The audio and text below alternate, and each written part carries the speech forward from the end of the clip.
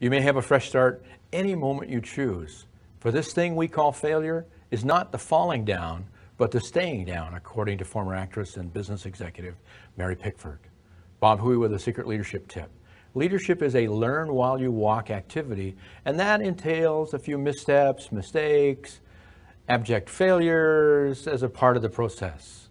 Accept that failures are normal and don't let these little speed bumps along your path slow you down or worse yet, stop you from pursuing this important goal. Take a few moments to reflect, analyze, and learn from the experience and to glean those leadership lessons for future use.